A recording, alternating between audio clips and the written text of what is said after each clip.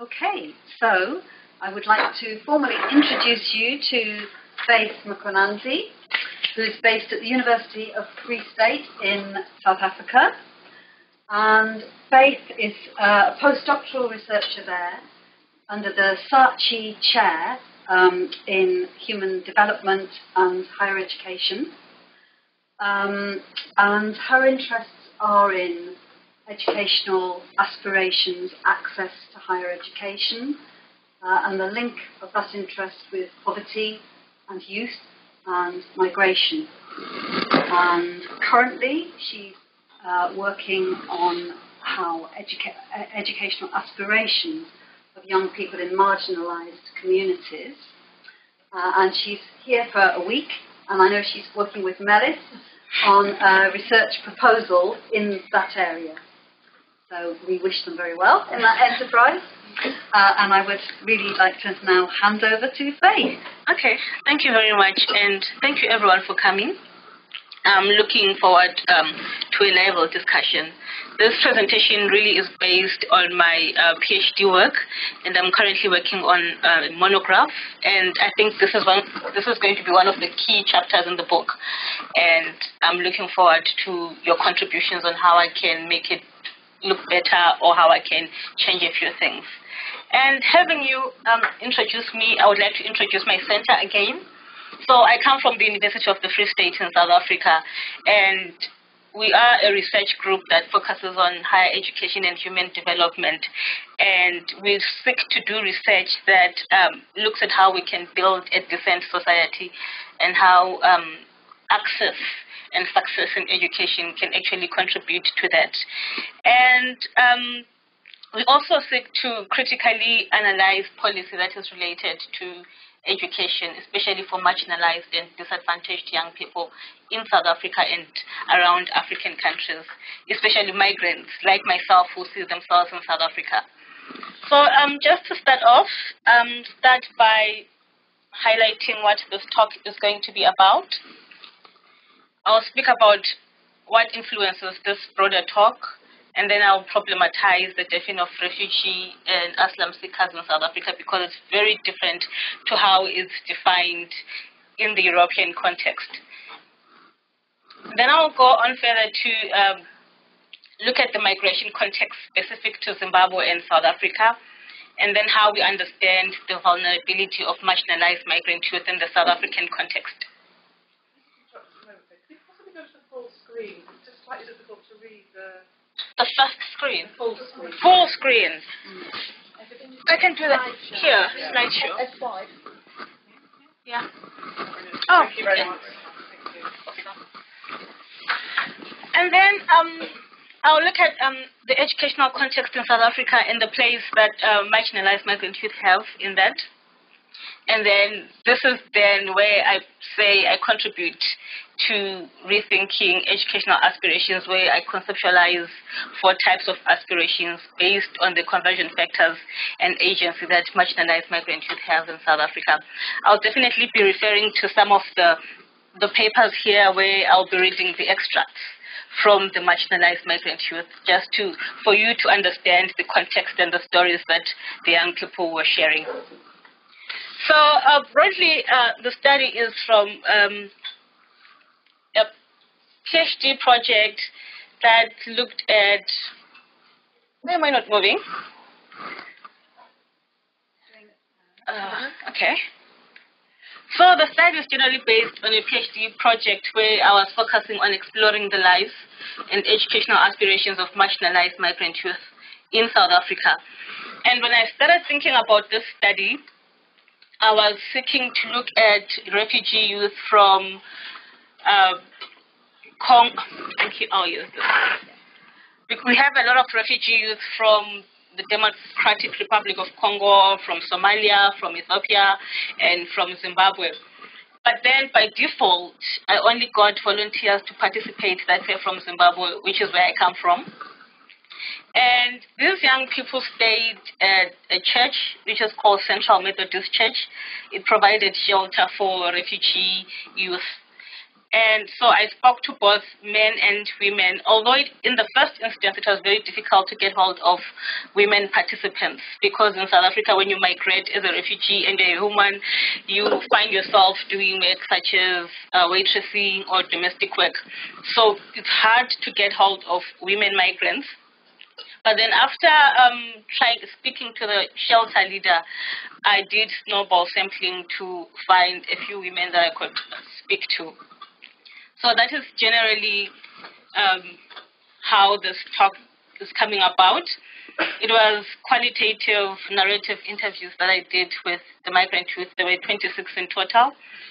And I used the capabilities approach. I'm not going to go into detail about the capabilities approach because you will see more of it because I use it to conceptualize the formulation of the aspirations that I have here. But the main concepts that I use are agency, aspirations window, and conversion factors. Like I said, it's very difficult in South Africa to really define what a refugee is and what an asylum seeker is and what is an economic migrant. And this is largely because South Africa has received a lot of what we call refugees, yet they are not refugees, but they're economic migrants. So when they get to South Africa, they apply for refugee status, when in essence they do not qualify to be given the refugee status. So we have been having that problem in South Africa, specifically for Zimbabwean migrants like myself. So there are those disparities on how we categorize what is a refugee, what is an asylum seeker. So in my study, I was specifically looking at undocumented migrants, people who didn't have study visas, people who didn't have refugee status, but most of them, they had asylum seekers permits. So what happens in South Africa is when you apply for refugee recognition, they give you a, they give you a paper which they call Section 22 it's an asylum seeker's document that allows you to be in the country legally. And it says that you can work, you can study, but in essence, when you go out to look for work or you try to study with that asylum seeker's document, it's not possible. So I have a letter here that I used in my PhD study that was written by one of the people who, who has this um, asylum seeker's uh, document, which is viewed as a refugee document by most of us. And it says, having arrived as a refugee within South Africa about three years ago, I still hold a temporary asylum seeker's document, which I renew every six months. This document legalizes my stay in South Africa.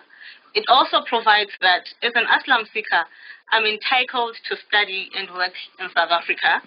Thirdly, this entitlement ends on the document itself. On the ground, it's a different story.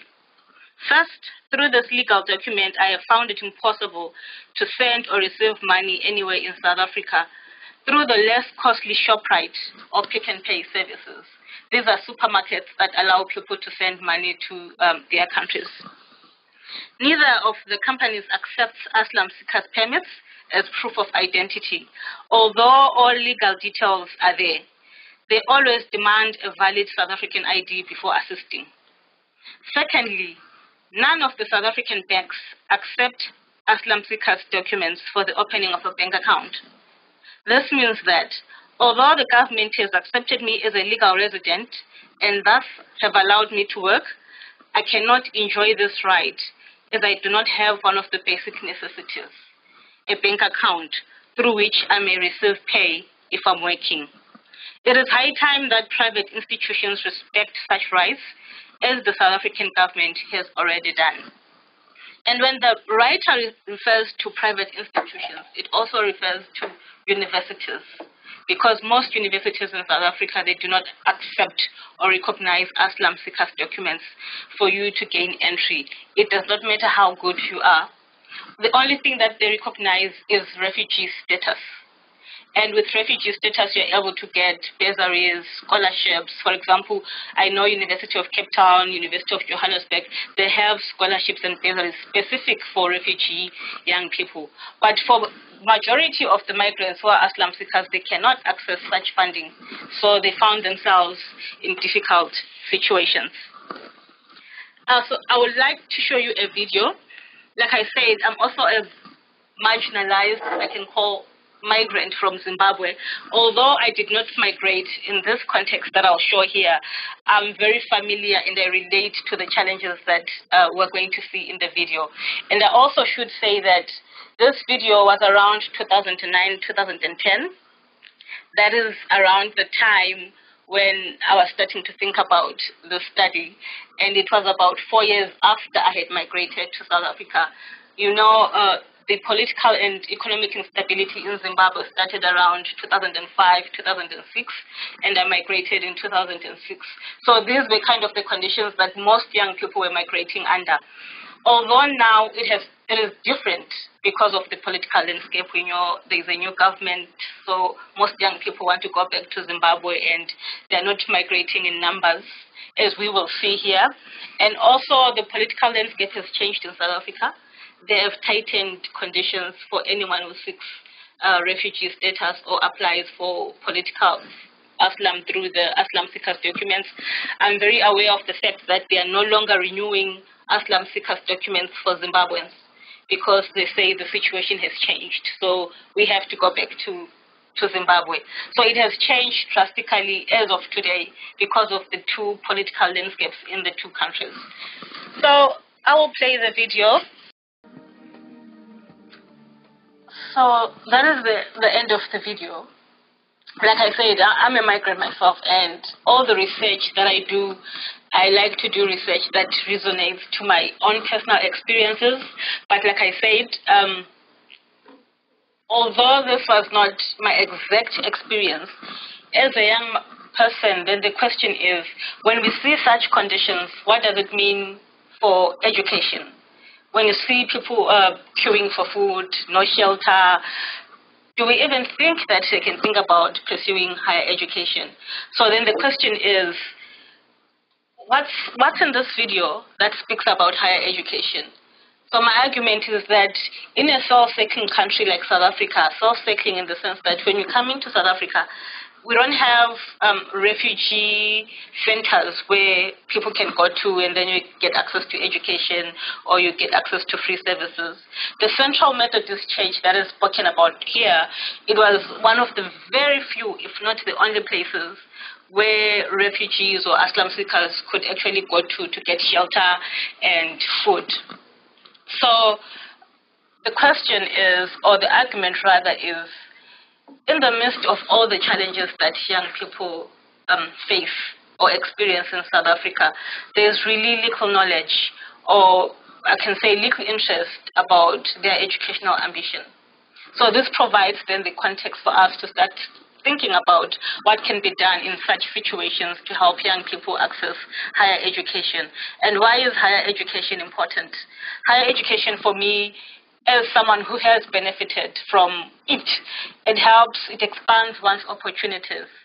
It exposes you to the world. It increases your instrumental chances, for example, of getting employment. I wouldn't be here, for example, if it wasn't for access to higher education.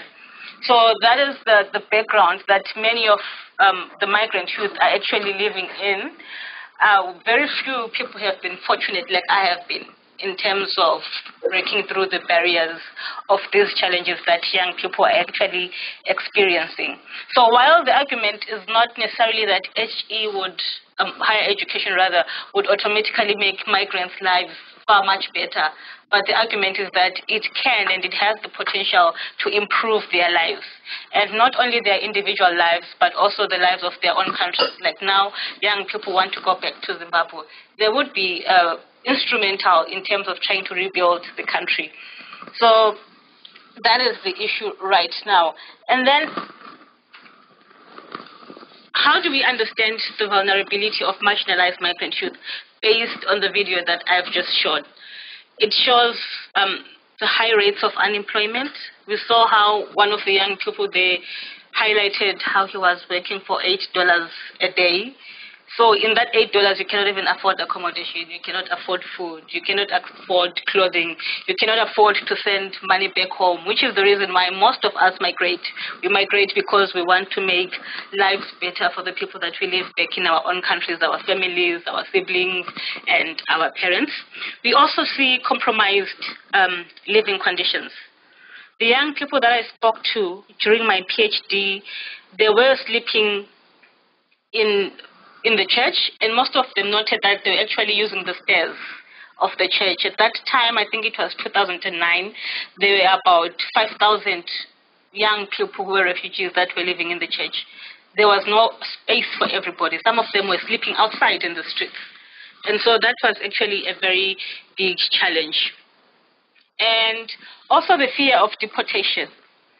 When the young people migrated, some of them that I spoke to migrated when they were 13, 14, 15, 16 years old. And you're not recognized as someone who can sign a document. So for most of them, they could not apply for asylum seeking documents because they couldn't sign. So based on that, then they were living illegally in the country. And some of them that I spoke to actually 18, 19, 20, but still they didn't have um, legal documents. Because, for example, if you would apply at the port of entry, which is Beitbridge, uh, Beitbridge is the city that separates Zimbabwe and South Africa. It's about 500 kilometers from Johannesburg, where all migrant youth want to go to to find employment. So then you would have to go back every six months, like I read in the letter. You would have to go back every six months to get the document signed or stamped or renewed. And for that, you would need to have an income for you to be able to travel, which most young people don't have access to. So most of the time they would have to be ducking and diving, fearing um, deportation. And then we also see limited access to basic services. Obviously, in terms of shelter, not everyone had the privilege of staying at the Methodist Church. So obviously, some who didn't have access to the church shelter had limited access to basic services. And also, then, how does this speak to accessing higher education. It shows that there were many constraining factors for them to access higher education. And then in terms of providing the educational context in South Africa and the place that marginalized migrant youth have in South Africa, we have uh, in South Africa a national youth policy, but in the youth policy, only recognized refugee status have access to bursaries, funding, and, for example, applying to mainstream universities. Asylum seekers, which is what most young people have, they have no access or they have no place in the national youth policy. And I would like to also introduce the unconventional ways of learning. While I was busy interviewing people at the Central Methodist Church, I came across um, a school called Albert Street School. So this school was started by the church as a way to, to help all the minors who had migrated into South Africa but found themselves with nothing to do. Many people could not employ them because they were underage. But we found at the church there were many refugees from countries like Democratic Republic of Congo, uh, Ethiopia, Somalia. People were qualified as in headmasters, principals, teachers, but they found themselves as refugees in that church. And then we had minors that were underage. So now the people at the church decided to make use of those resources, make use of the teachers to teach the children that were there on a voluntary basis. So then people started accessing schooling from grade one to grade five. And then it moved on um, up to high school. So although the school is not really recognized by the South African government, as a formal school, it is a way that helps young people to learn and keep them out of the streets. So now what they do is they register with the British Council. So if you study, let's say, for Form 4 or Form 6, then you need to get funds to register for writing exams under the British Council, not the South African um, Matriculation Board because the school is not recognized and the school is not funded by the South African government. So that is the issue for those that have successfully completed um, secondary school at this Albert Street School, some of them have had the opportunities to access um, universities. For example, the University of South Africa is a long-distance learning institution. You can apply using your Zimbabwean ID. You don't necessarily need a permit to apply. So most of the young people have actually used that method to access higher education. So based on the stories that the young people um, shared with me and also my own experiences, my observations while living in South Africa, I conceptualized four different types of aspirations formation in this context based on different factors and different levels of individual agency. So they are resigned, powerful, persistent, and frustrated aspirations. And these operate within an aspirations window, which I, I say that it's the people that are around you at that time when you are aspiring. So these people can actually be motivating or demotivating you, or people who encourage you, or the stuff that you want to achieve at a particular time, and you think of ways how you can do it. So that's what I view as the aspirations window. To highlight um, higher educational aspirations formation, uh, rather the rationale of this conceptualization or why I decided to come up with this conceptualization is to highlight that aspirations formation, particularly higher educational aspirations formation, is very context specific. It is not the same anyway. It cannot be the same like in Europe and in Africa. And also, it cannot be the same in South Africa and in Nigeria, for example. It's very context specific depending on what the individual has at that particular time and the resources that are available for the person at that time. And also, it's very, very complex. And this complexity is um, as a result of the personal and structural factors that a person finds themselves at a given time. Today, I may aspire to be a teacher, but tomorrow then I can decide, no, actually the resources or the people around me are not motivating me to do this thing, then you change your aspirations, and which leads to the fluidity of aspirations. So I normally try to avoid using the term adaptive preference because I think that at a certain given time or based on whatever one is experiencing, aspirations become fluid. They change from time to time based on what is available and what you can actually achieve. And then also, it highlights that um, aspirations are influenced by intersectional factors.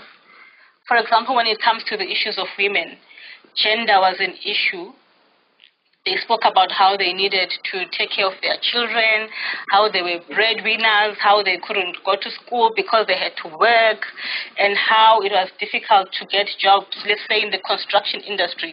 Most young men, when they migrated to South Africa, they would get jobs in construction industry, pushing the wheelbarrows or mixing the mud, which women could not do.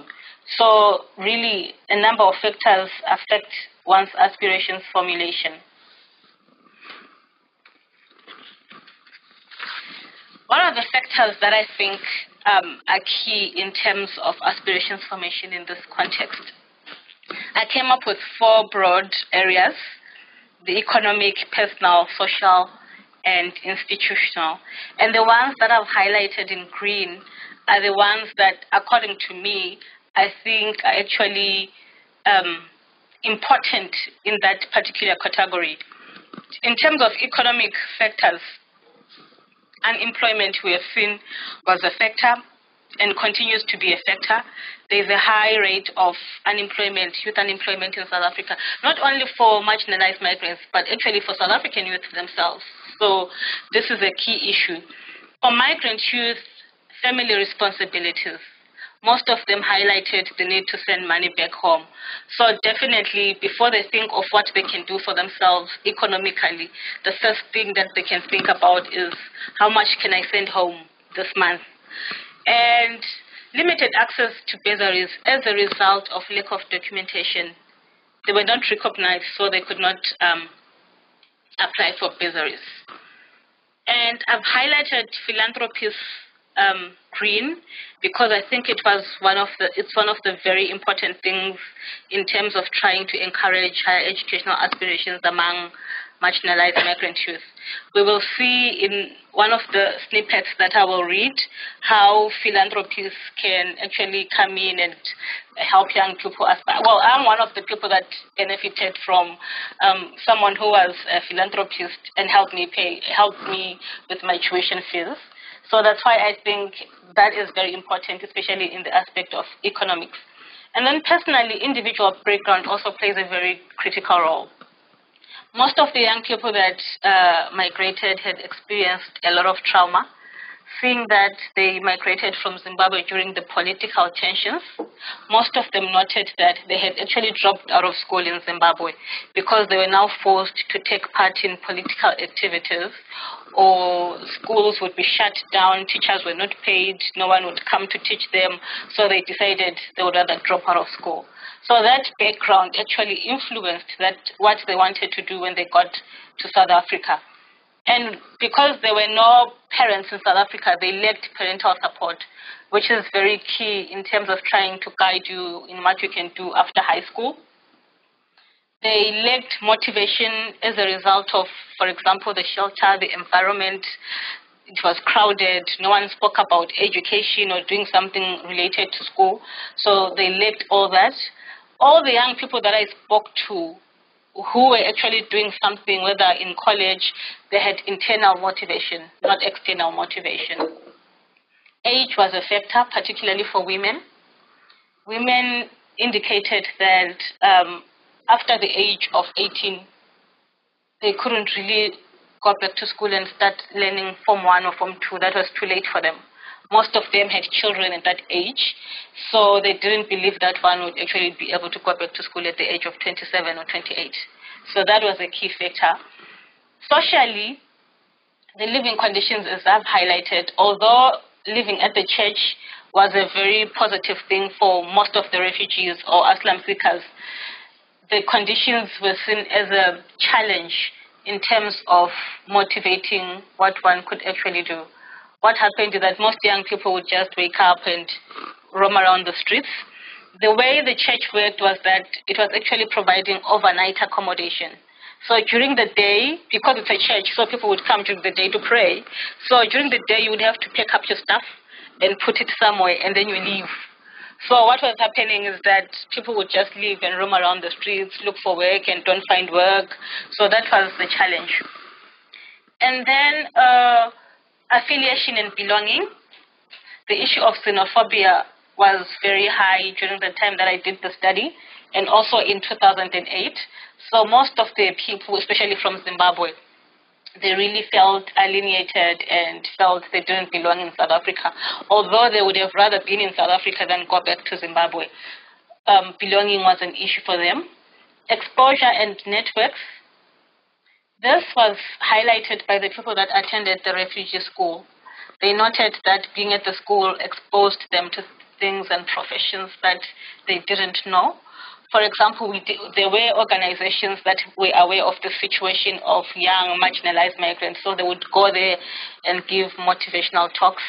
I remember there's a young person who said, um, they would get uh, people from legal aid. The lawyers would come to the school and try and encourage them to work hard. They would have banks coming to, to sell the professions that they could actually do at the banks. So that exposed a lot of young migrants to different professions. And through that, they formed associations and networks, some of whom uh, they actually took up later. I know there is one of the young people that I spoke to is actually studying law because he met a lawyer who asked him to come and shadow him while he's doing law. So we see that the issue of exposure and networks is very key. That's why it's also highlighted there. Gender also came up as a very um, negative influence in terms of what one could aspire to do in relation to education. Like I said, most of the young girls that I spoke to already had children. And because of the difficult situation of self-settling in South Africa. If you get to South Africa, you're a young girl, you don't have a job, then you get a man who says, I can marry you and take care of you, then the chances are likely that you would say yes. So most of the girls actually experienced that. They met someone who was willing to marry them, then they got married. And institutionally, for me, what is key and what is important is actually making these asylum seekers uh, become legally recognized, offering documentation, which was actually not happening in South Africa. Most of the people that I spoke to noted that they had held asylum seekers documents for over five years. So, meaning they were living in these challenging years for those five years. So we don't, when you read uh, literature or when you go to the Department of Home Affairs to try and find out why these things take so long, they say they've got a backlog or they say it's difficult because Zimbabwean migrants are actually economic migrants, not refugees. So it becomes difficult in terms of categorizing where to put who. But anyway, for me, the argument is that as long as someone is in your country, it's better to legally or officially recognize them than have them as an illegal migrant because then you increase the chances of crime. If someone can't get employment, they can do other things. Whereas if you can officially recognize them, you encourage them to look for formal work. And then um, CMC is the Central Methodist Church. It was seen as a very important factor that contributed to uh, the capabilities of the young people. At the same time, it was challenging because it was not motivating. ASS is Albert Street School, the school that most young men went to. So this school was free, run by the church, and it was open for everybody.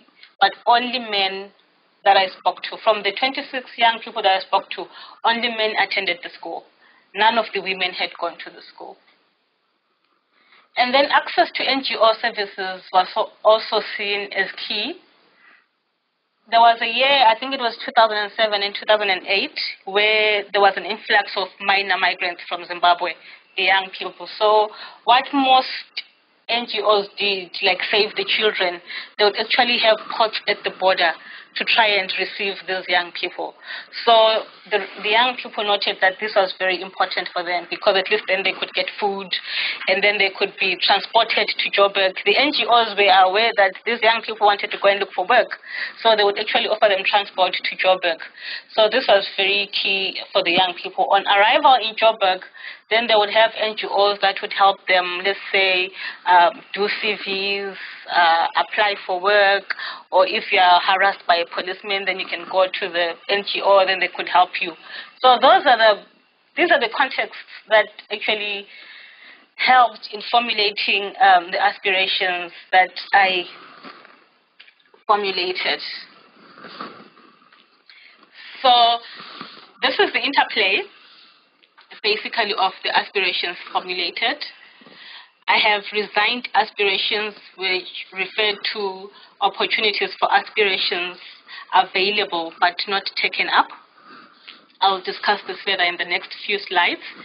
Then we have powerful aspirations, aspiration, opportunities for aspirations um, also taken up, persistent aspirations, someone keeps trying despite the odds, then we have frustrated aspirations where one would actually give up on the aspirations that they have. And these, like I said, are influenced by factors that are social and structural, and they intersect with individual agency. In terms of resigned aspirations, which are opportunities for aspirations but not taken up, I have um, a story that I would like to to read, and this is Rita's story. Rita is a 21-year-old woman who met a guy who wanted to to marry her, and she took up the opportunity for marriage. So these aspirations, like I said, are placed um, in different points along two intersecting scales of positive external aspirations, but they are not uh, necessarily taken up.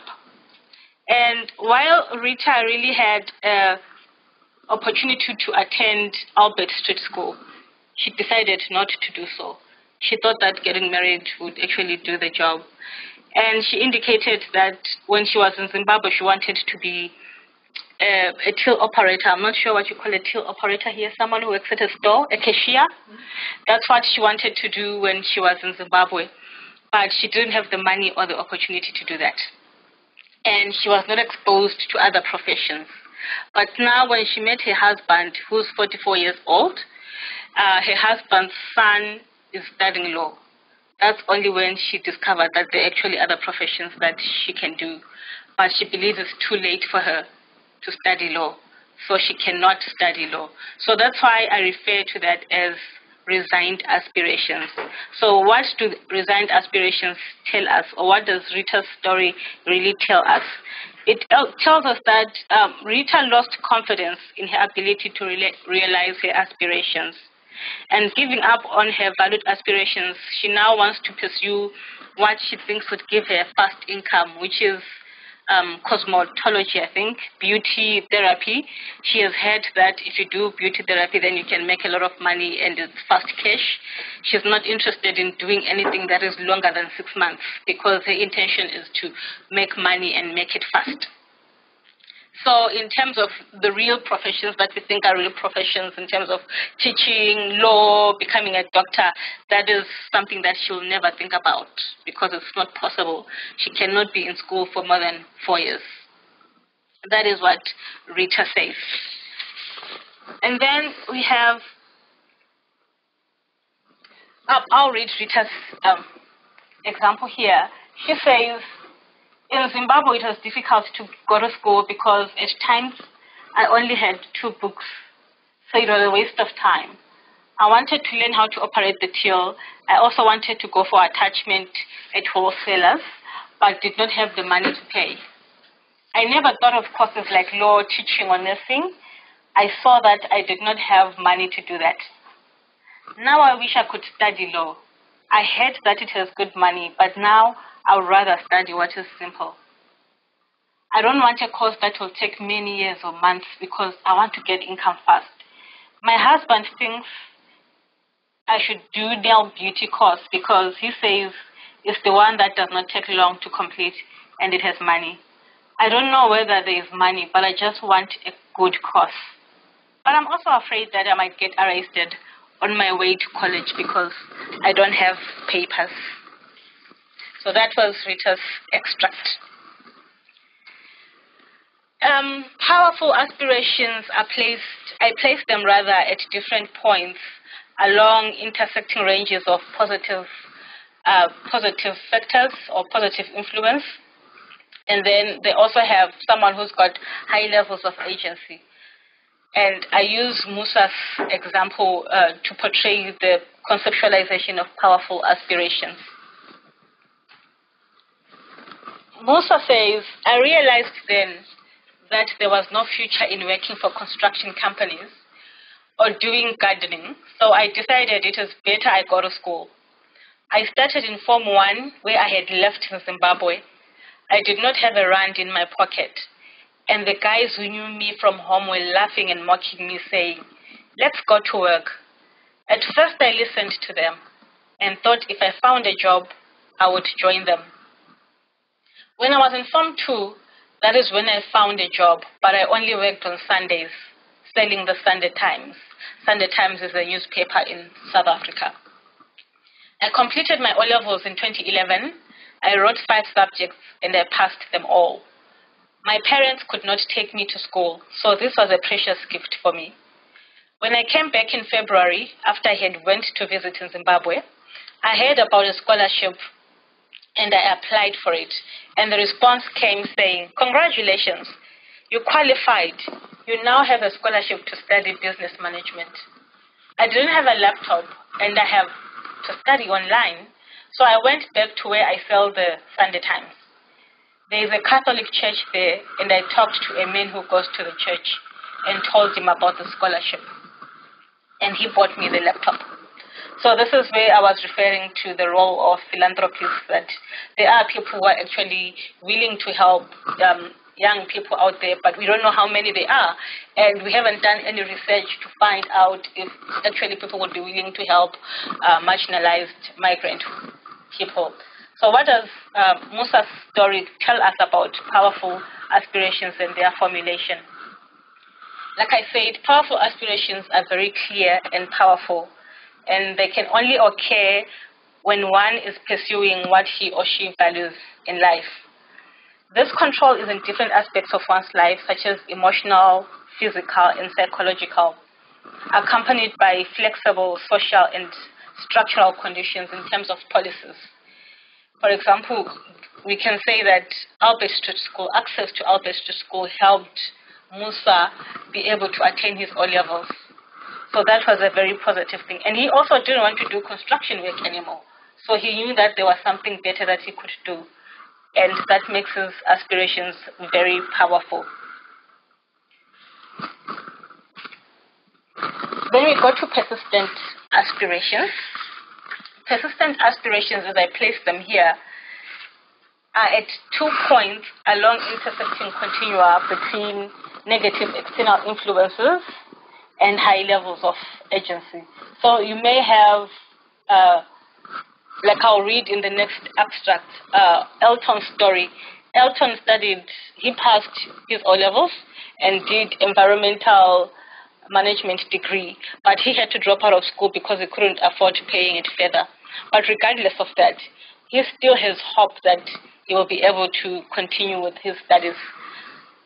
Let's see his extract.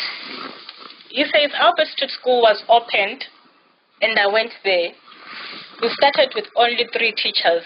Then there were five, then eight. That is how we started learning. I completed my education there in 2010. I then registered for an environmental management program but had to drop out due to financial problems.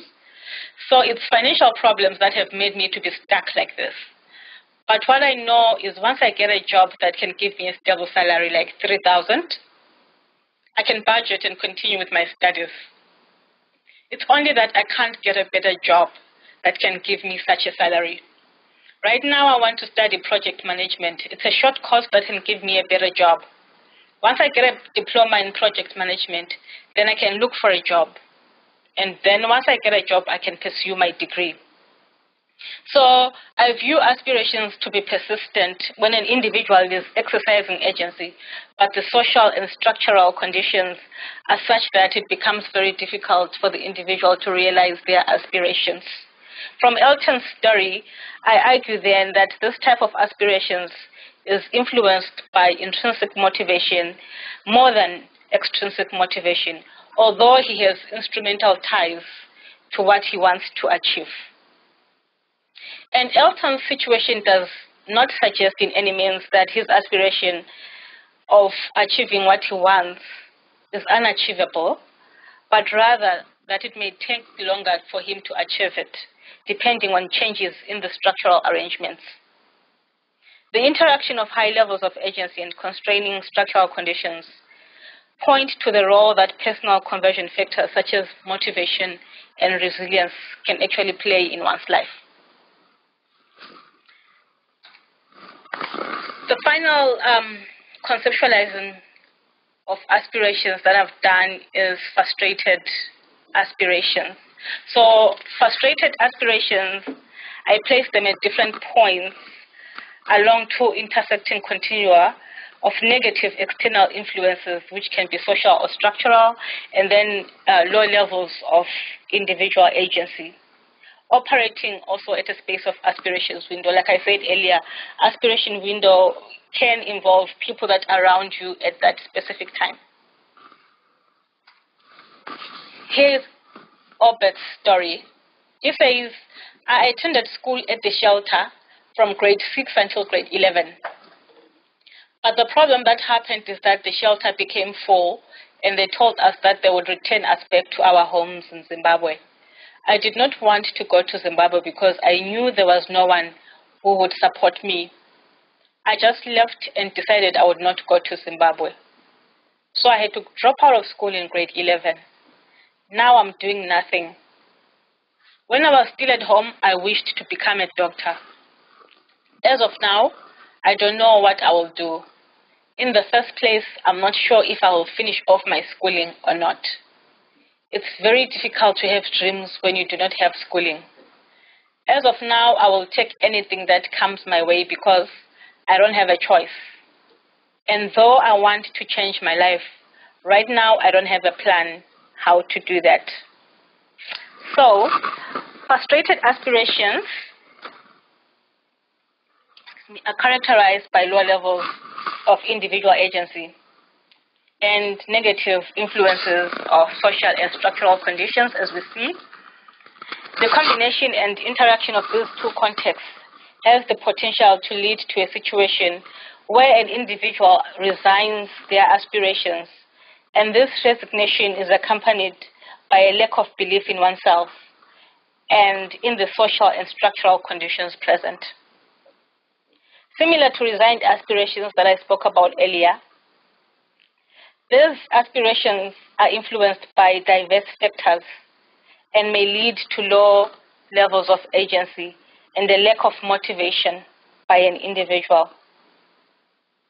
So this is how I've conceptualized the four different aspirations based on the different stories that I heard from the marginalized migrant youth. So what do these stories tell us? They reinforce what I said earlier, that aspirations are very context specific, they are complex, and they are fluid, and they are influenced by a number of factors which are intersectional.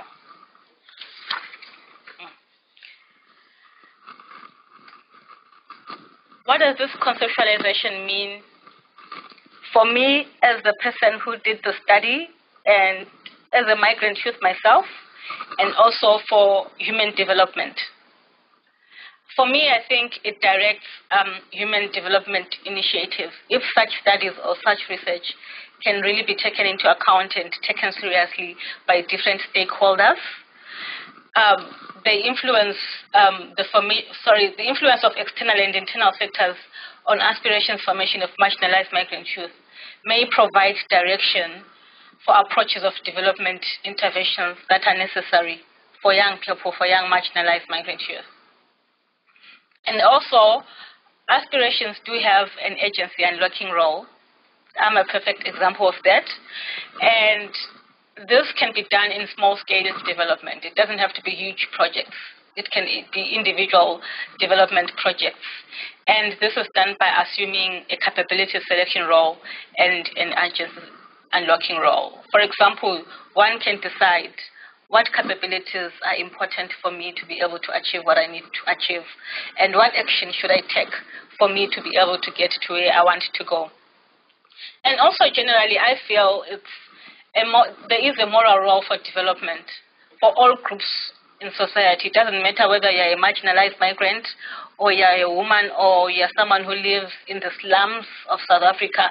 Generally, if you are disadvantaged and marginalized, this type of study, or if we look at human development from this perspective and understanding the nature of aspirations formation, is not only important for individuals concerned, but also very important for structural bodies like governments and NGOs to direct policies of development that enhance individual and collective opportunities for development going further, both in African and um, non-African countries. Thank you.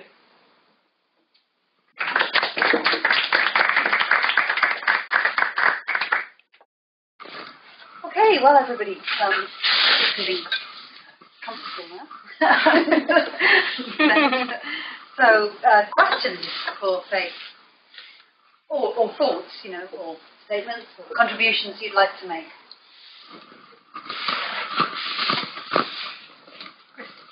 Thank you, Faith, for your talk. It was really interesting.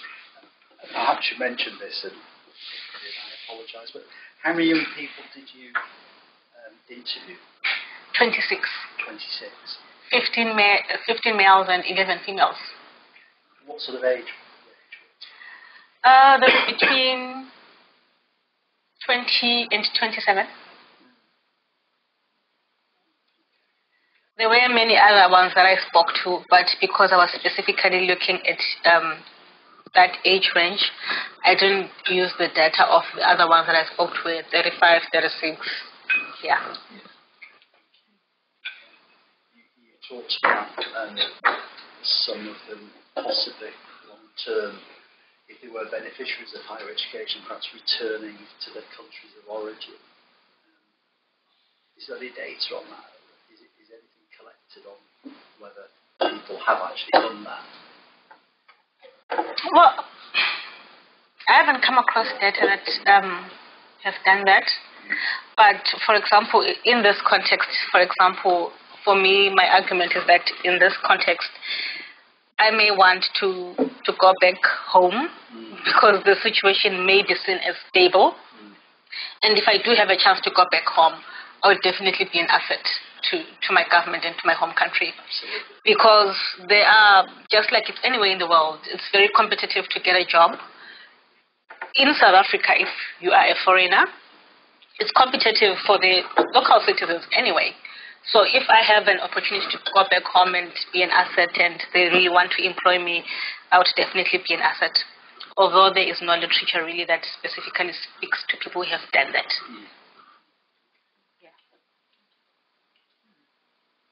I will add my thanks too. Um, very interesting.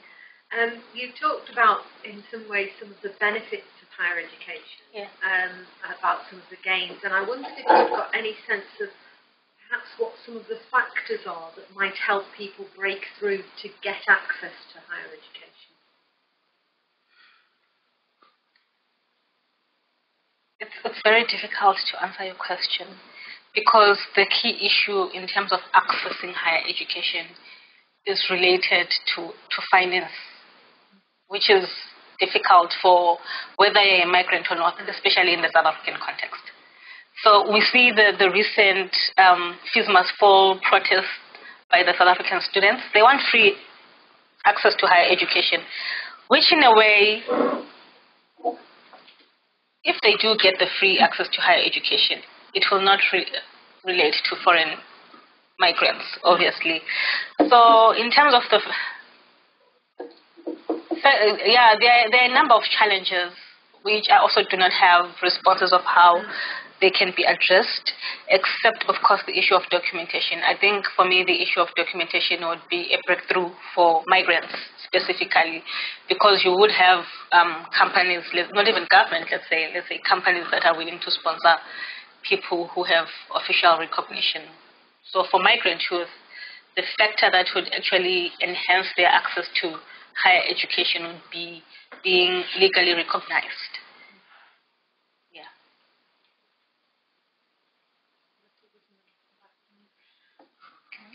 Thanks for me too. It was really interesting. Um, I would. You referred on that last slide, for example, to external and internal factors, and I wondered what, how you define the internal factors and the kinds of things they are. Because it struck me that much of what you talked about was kind of external constraints and structural factors.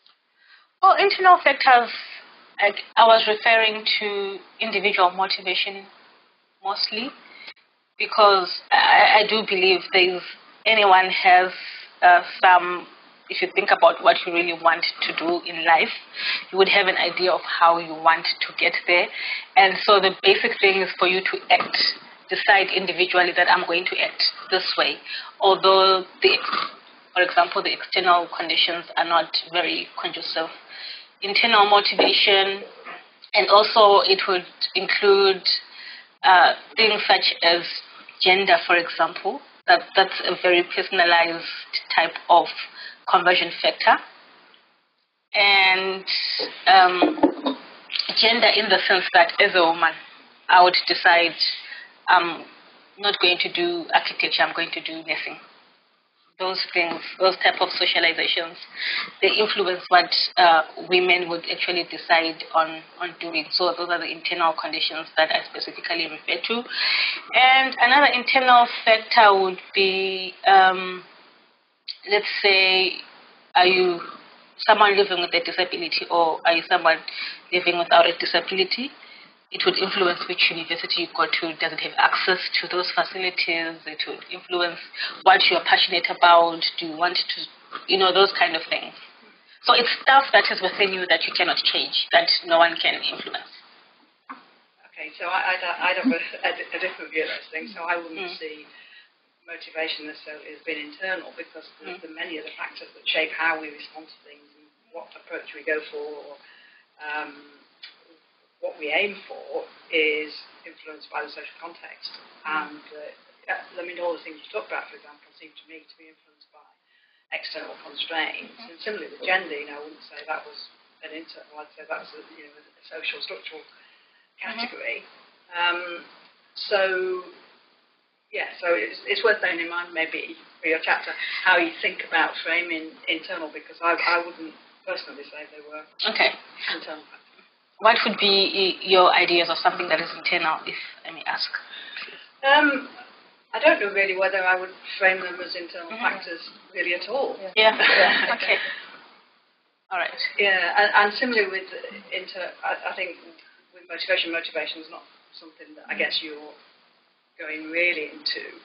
Um, but the kind of distinction between intrinsic and extrinsic, I don't think is, is straightforward either.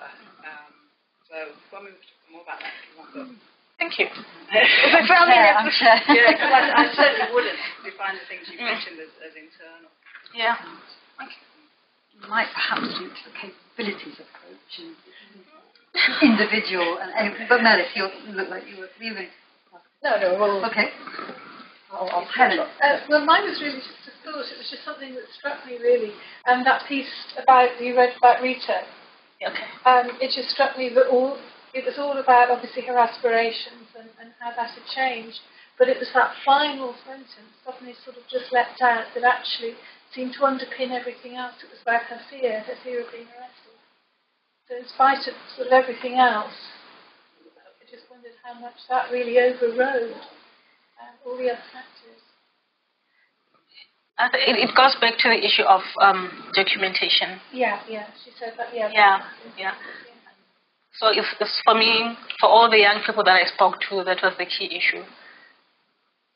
If they could get documentation, then they're free to go where they want to go. They're free to access the universities. They're free to get jobs.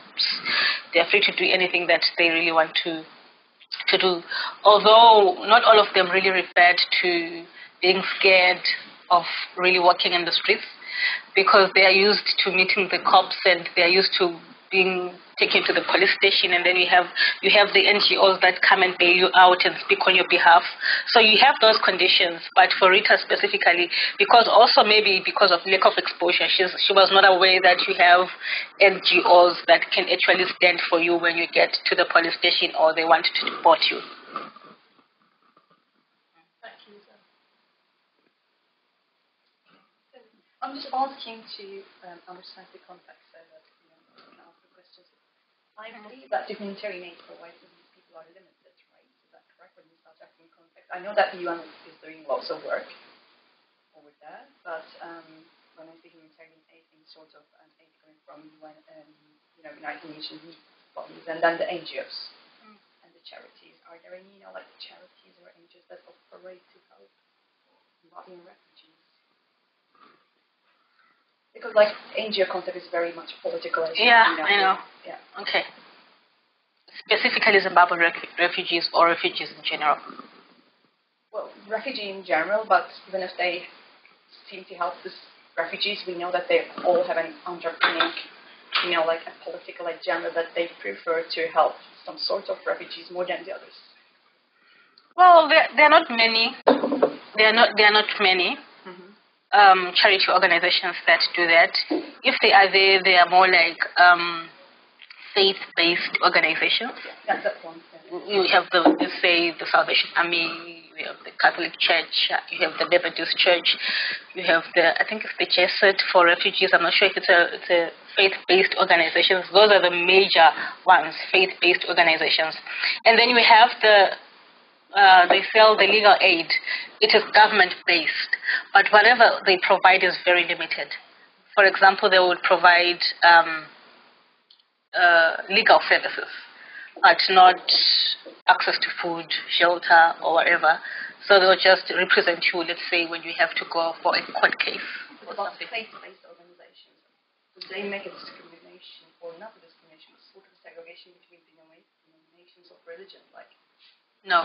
Okay. That, It's open for everybody. Yeah, you know, in the context that I'm working, Yeah. the charities and NGOs are so much Yeah. sort of politically polarized that they will seem to be helping Syrian refugees, but the whole politics of whether those are, you know, like Arabic, Kurdish, Okay. or which, you know, like denomination of religion are they coming from, or which part of, you know, like whether they're supporters of, you know, No. or not. So these all the all small dynamics that play a role hmm in um, sort of determining who gets which humanitarian aid to what Mm. extent. No, we don't have that in South Africa. No.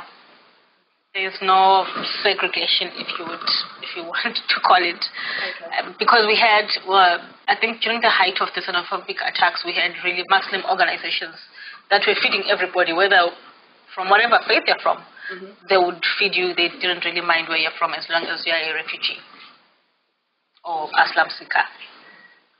And I believe that there's a huge network between Zimbabwean refugees as well, trying to help each other. No? Because we often think that they're based on humanitarian aid, but I think when you just go and look at pictures, let's use it, it's not true. You know, they have a huge social capital of networking, and they don't necessarily always depend on. Because humanitarian aid is very limited. Okay. It's, it's not really something that you would leave Zimbabwe and say, I'm going to go to this specific organization. It's by chance that you would actually get access to the services that they provide.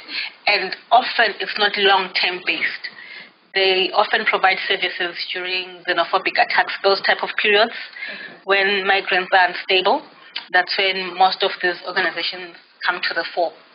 So generally, yes, there is a huge tap of social capital among Zimbabweans themselves, not only Zimbabweans themselves, I mean even Somalis and Ethiopians. There, there is type of, um, they help each other get around the country. Yeah. So as a, and my last question is as a highly educated, you know, Zimbabwean refugee, I sorry, not refugee, sorry, migrant, um, would you say that there is um, diaspora formation among highly educated migrants? Is there? Is there a diaspora formation among highly educated Zimbabwean migrants? I mean, do you think higher education also leads sort of this kind of diaspora formation as well? Would I add another category to the four that I have? No, I'm you just asking- asking the situation in, in, in South Africa. Sorry, I'm, if I'm coming with difficult questions. No, it's not, it's not a difficult question. I'm really trying to understand Whether you know, like, um, there is a formation of diaspora of Zimbabweans. diaspora. Yeah, exactly. Dias- okay. diaspora. Oh, yeah, yeah. Yeah. Um, Of educated Zimbabweans.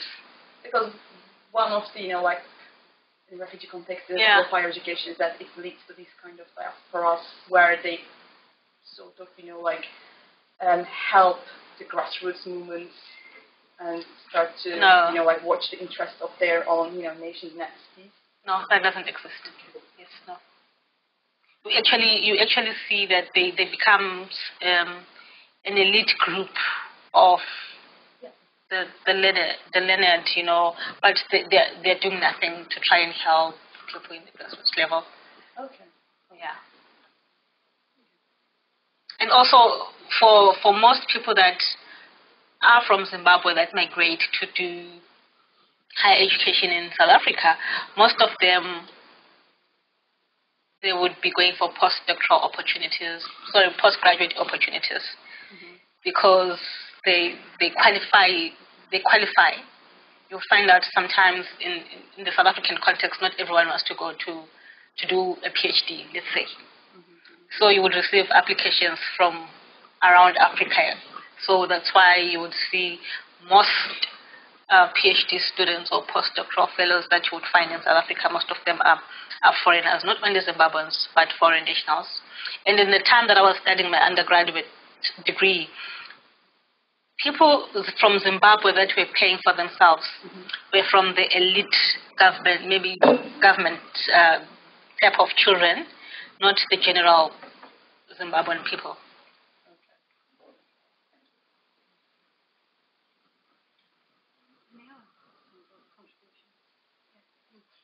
Thanks, thanks for that, Faith. I'm, I'm interested in this sort of idea of what education is doing, what sort of what sort of skills and capabilities it, it's adding to the sets of skills and capabilities that those young people already have or are developing. I mean, it seems to me that they, that many, many of the people that young people that you're talking about there probably have quite high levels of problem-solving abilities.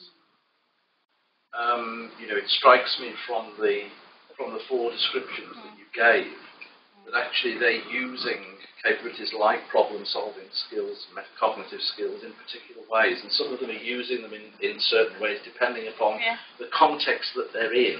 Mm. So I'm wondering actually what it is that the education or the higher education is, is adding. What is it offering that is that goes beyond those sorts of abilities? Is it something that, that, that is that is enhancing those abilities, or is it something that goes on top of those around them? What, what is it adding?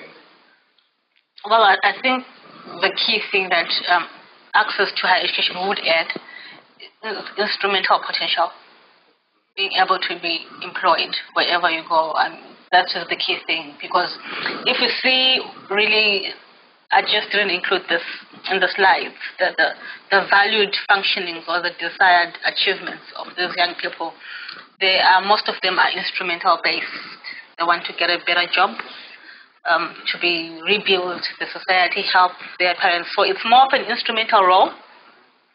And also it develops their critical thinking abilities. Yes, they all already have these skills, but they can be developed through access to higher education and exposure to different things that they may not have been exposed to. And most of these young people that I'm speaking about are from rural type of backgrounds in, in, in, Zimbabwe. So when they come to South Africa, which is urban, they get exposed to, let's say, professions such as information technology, something that one may not have been aware of. They get exposed to professions such as media and journalism. Most of the young people don't know these things exist. So obviously through going to Albert Street, Street School, which is not a university but just a high school, they get exposed to these things. So what else can access to university do for them if a high school can do that for them? Yeah. So, so the sort of um, the development of sort of um, adaptation, adaptability is, is, is, seems to be there, i.e., that there's um, actually their their ability to do that may may have may give them quite a big advantage. I don't know whether you've seen that in terms of in terms of the young people that you've spoken to, and you know, whether those sorts of qualities come through in particular ways that yes. that the outcome. Yeah. Yeah.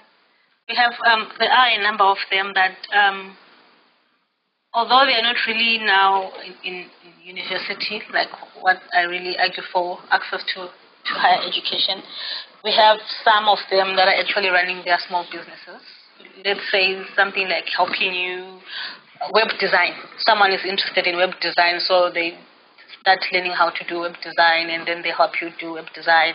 I know there's one guy who's now a DJ, you know, a disc jockey, because he was very interested in journalism, but he couldn't access university. So now he's starting to play gigs around the city. So you do see those type of aspirations coming into action, although it's not necessarily through university access.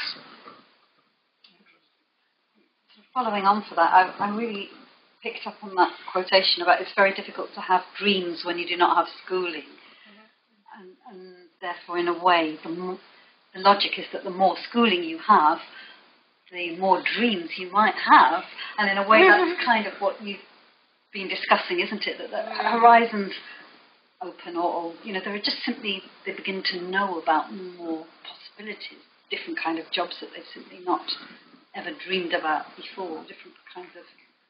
That's jobs. I mean, do, do they have? Does it? Do they get a thirst for more education as well? that's another. So, Other than instrumental. Yes. Yes. Yeah. Yes. I mean, almost all the men that I spoke to really want to get an education so that they can get um, respected from where they come from, so that they can be respected by local citizens, because they feel that because they are not educated, then anyone can say anything to them, anyone can do anything to them. So, yes, while it's instrumental there are instrumental reasons for them to want to go to university. There's also an intrinsic um, value that they want to get out of it. So it's quite it's quite dynamic and yeah varies. Very fluid, very fluid. I have, uh, thank you for your interesting uh, excerpt from the interview. And I uh, am curious about what kind of social status that are they going to get after finishing the, the university degree? Like, is it going to be the um, just at the living standards or the more higher than the level? social mobility, Uh, just social status. yes. You're saying social status. And you're asking what kind of social status they may get if they access. Yeah, or Higher they- education. what kind of social state that they want to get it? Well, um, most of them,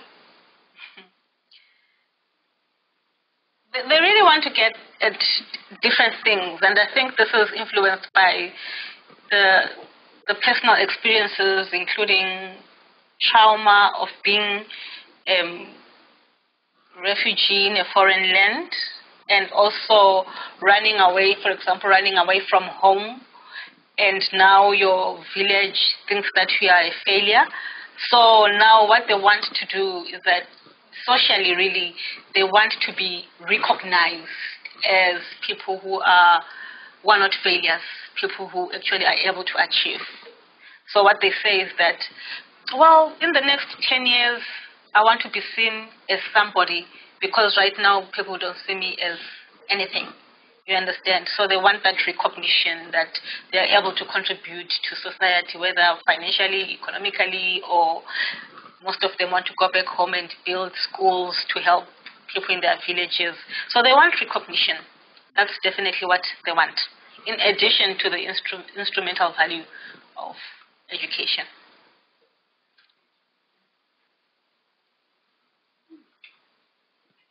I think we feel as if we've come to a natural end. Has anybody got any questions there, Bernie, to ask or contributions? Yes, please. Contributions. I would, I would really appreciate contributions, definitely. I guess, you know, after this event, um, do we have a, an email uh, address for you? Um, Um, Melis has Heather, it. can you help us there? so if, anybody does have, you know, particular comment that they'd like Yeah. to make to help Faith with this chapter, Yes, definitely. you could email her, couldn't you? Yeah, Yeah. of course, and I will uh, maybe circulate or email around if that's okay That for would you, Faith. Yeah, that's fine. I just like yes, Yes, your just fine. people, but Yeah, that's perfect. from you, so I'm just gonna send to address, you know, like our department an email saying that we have further questions to follow up. Faith, and she's gonna be here until Friday. Yes. Yeah, and she's located in an office. Yeah, um, she's in Chelsea, the office. Um, the office just across the Catherine's. yeah. Yeah, Yeah. yeah, yeah. Mm. Next to Rebecca's. Yeah. Oh, well, I guess I have to make another comment. Although, um, although this formulation is specifically for um, marginalized migrant youth, I would really would love to hear your thoughts, maybe via email, if you think this is applicable to any disadvantaged context, not necessarily marginalized migrant youth. Because that's something else that I'm trying to think about. That I don't think this necessarily refers to or applies only to refugees or asylum seekers, but it can be applied to different contexts of marginalization, or vulnerability, or disadvantage. Let's thank Faith again.